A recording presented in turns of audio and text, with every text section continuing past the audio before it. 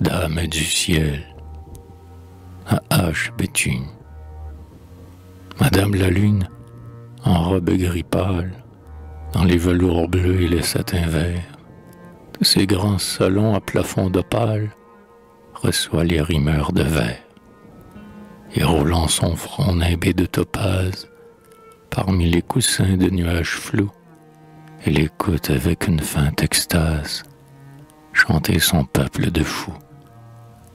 Nos regrets, nos vœux, nos bonheurs, nos peines, elle connaît tout depuis dix mille ans. Elle a des regards qui calment les haines et qui font des baisers blancs. Pour guérir nos cœurs des tourments que sème le sourire froid des femmes ses sœurs, elle orne gaiement son sourire blême de caressante douceur. Elle sait le nom des pays du rêve, monde idéal que l'amour bénit, cher Éden vers qui notre espoir s'enlève comme un oiseau vers son nid.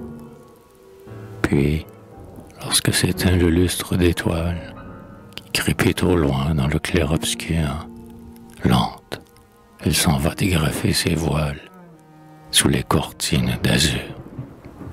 On croit qu'elle dort, là c'est solitaire, mais son char de nacre aux luisants essieux l'emporte en fuyant autour de la terre, et déjà sous d'autres cieux.